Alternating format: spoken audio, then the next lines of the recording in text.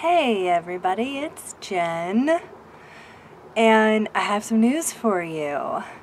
So, I will link to it like somewhere over by my head, and uh, I talked about it, I think it was in October, that Jake and I were going to have to put our house up for sale, our little mini urban farm up for sale, because the likelihood of Jake retaining his job for long was pretty slim.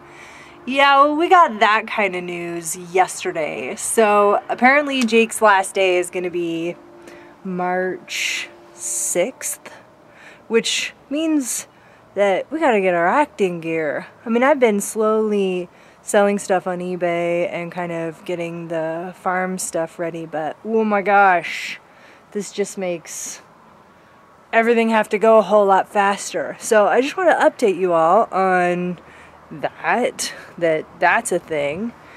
And yeah.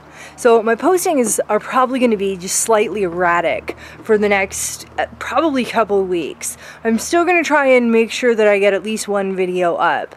But I'm going to be working on packing and selling and Craigslisting and eBaying at like full force so that we can get the house up for sale as soon as possible. So yeah, that's that's my farm news. Thumbs down. Oh well, right? We knew it was coming, so at least we were somewhat prepared for it.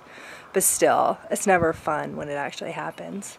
So that's my update for you. I will keep you all posted as to what goes on and what goes on with the rabbits because I haven't decided what the heck to do with them yet. Jeez. So I'll keep you posted. Okay, bye!